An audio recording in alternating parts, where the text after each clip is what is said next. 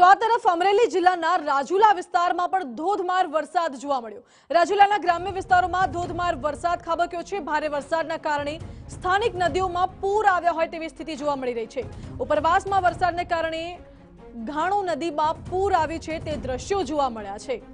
સામાન્ય રીતે વરસાદમાં ચોમાસાની સિઝનમાં આ પ્રકારના દ્રશ્યો જોવા મળતા હોય છે કે નદીમાં પૂર આવે, નદી નાળા છલકાઈ જાય ઘોડા પૂર આવે પરંતુ આ વખતે હજુ તો ઉનાળો સંપૂર્ણપણે શરૂ પણ નથી થયું અને તે પહેલા જ આ પ્રકારના દ્રશ્યો જોવા મળી રહ્યા છે. ધોધમાર વરસાદના કારણે આ સ્થાનિક નદી બે કાંઠે વહેતી હોય તેવા દ્રશ્યો સામે આવ્યા.